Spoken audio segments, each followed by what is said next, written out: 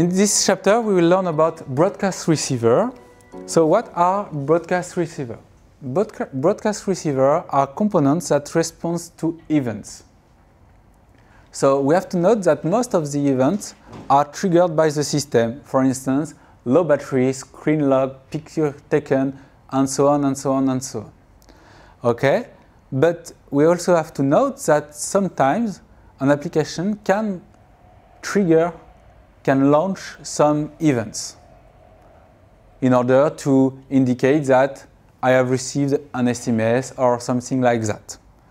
So the goal of broadcast receiver is to receive all of this event and to propagate the, the new events.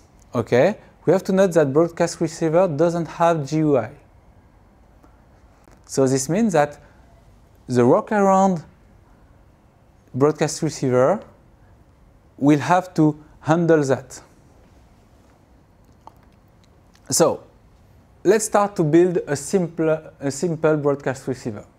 We have to change Android, fast, the, the Android manifest.xml. And here we can observe that I ask for the permission to read SMS or to receive SMS.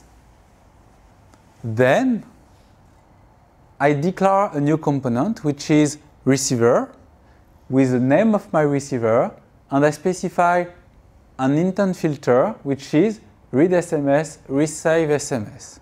So these two lines mean that the component my receiver will be informed every time I have an intent with read SMS action which runs inside of the intent bus or every time there is, that there is an intent with the receive SMS which runs inside of the intent bus. So now that we have done that, we can specify programmatically the intent filter and the receiver. To do that, we just have to call the method register receiver and then we specify the receiver, new my receiver, and then we can specify a new intent filter, which is, for instance, android.provider.telephony.smsReceived. Okay? Doing that, we'll declare my receiver with this intent filter. So not, now that we have seen that declaring a broadcast receiver is quite simple, we can look to the life cycle of a broadcast receiver. The broadcast receiver has only one action. This action is on receive. So in this action, we have to perform some work. If we perform too much work, we will have some troubles with the UI thread, okay? Since there is no thread to manage this. So the action inside of the broadcast receiver has to be short, and we cannot do asynchronous processing because we are not sure that any callback will be, eh, will be called inside of this receiver. So, how we can implement a broadcast receiver? First, we have to extend the broadcast receiver class. So, in the unique method we have on receive, we can do something. The problem we have is that we are not the UI thread. So we cannot display some information. But sometimes we want to display something to the user. Hey, I received an SMS. So to do that, the only way is to build notifications that doesn't require an access to the UI thread to be displayed, since it is put inside of a queue and then displayed by, by the UI thread. So here we can build a notification, grab the notification manager, and then notify with our notification.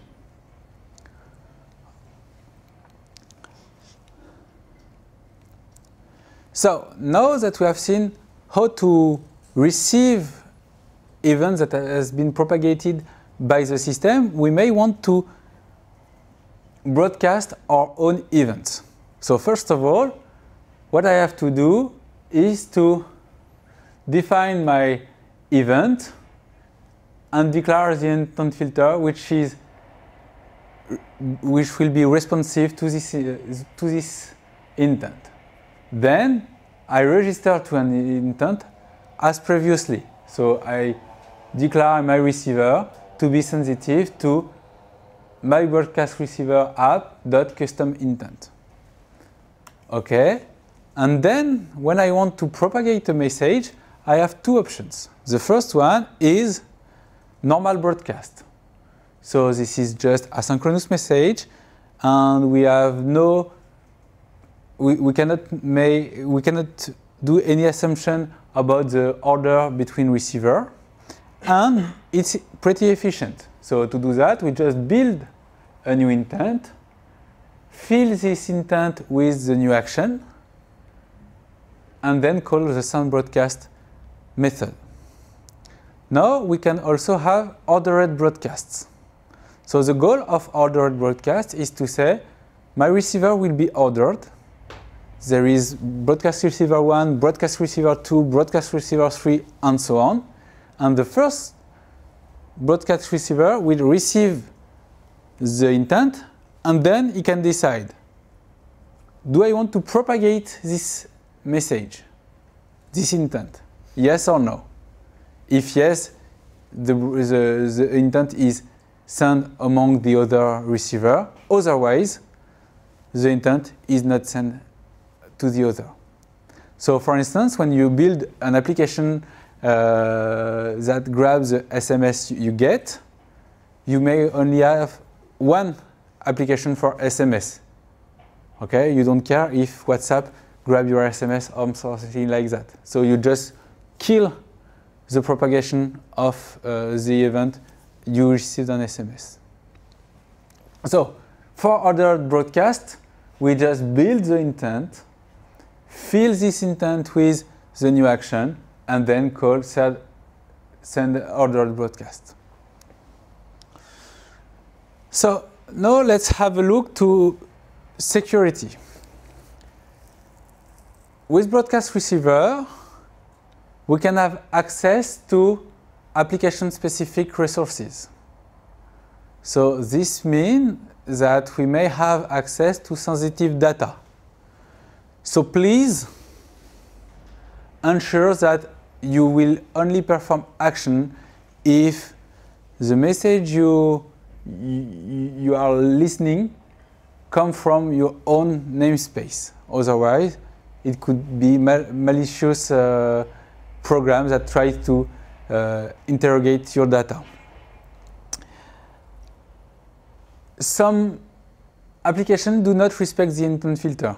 I will describe how we can do that later, but to ensure that you will only receive message from correct application, you can set the android.exported to false in order to have a, a minimum of security. Okay, so to sum up, broadcast receiver offer a way to trace all the system events. And there are two kinds of broadcast receiver. The first one is ordered broadcast, which is very useful when you want to deliver once some information. But there are also other kind of broadcast receiver, which, is, which are asynchronous broadcast receiver, which helps to just broadcasting the information whatever the order of the receiver. And sometimes you may want to have a local broadcast manager in order to propagate information inside of the different components of your activity, of your application, sorry. And the idea is to build a local broadcast manager that will propagate internal events. Doing that will help to communicate between the various components of your application while keeping all these communications safe inside of your application without broadcasting to the rest of the world what are you doing.